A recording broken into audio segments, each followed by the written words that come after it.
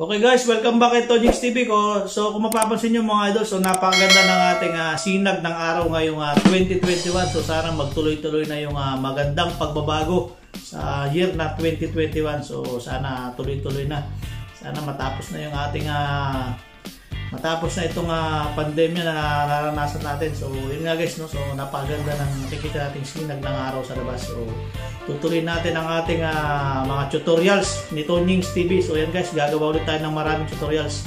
So, magpo-focus tayo sa mga lalo-lalo sa mga bagong YouTuber guys ano, sa YouTube. So, alam ko marami magsisimula sa inyong gumawa ng mga vlog.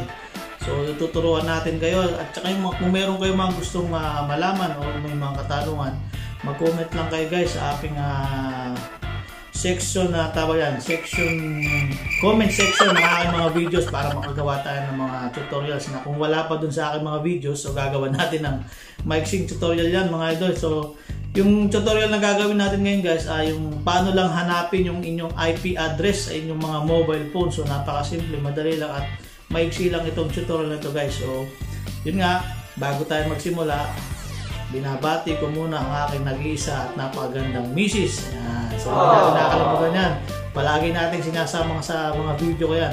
At yung aking dalawang anak dyan guys na si uh, Samantha Luis at Seth Lucas. Ayan. So, Happy New Year sa inyo. So, bago simula na naman tayo mga idol. So, simulan na natin ang aking uh, napakaiking tutorial na how to find your uh, IP address from your mobile phone. So, simulan na natin mga idol. Tara na.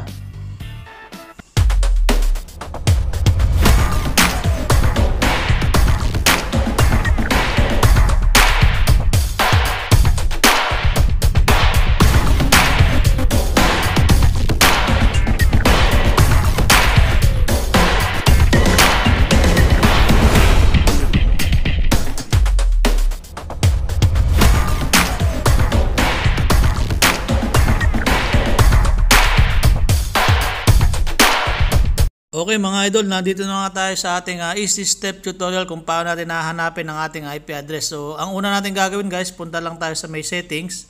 So, click natin sa settings. Then, naka-auto rotate tayo mga idol. So, ang hahanapin lang natin yan, scroll up lang natin siya. Hanggang sa makita nyo ang inyong, ayan guys, yung ating uh, system. Ito guys, mapapansin nyo, ayan, system. Click lang natin ang system. Then, hanapin lang natin si about phone. No? So, yan guys, click lang natin ang ating about phone. Then, scroll up natin siya mga lodi. So, scroll up natin.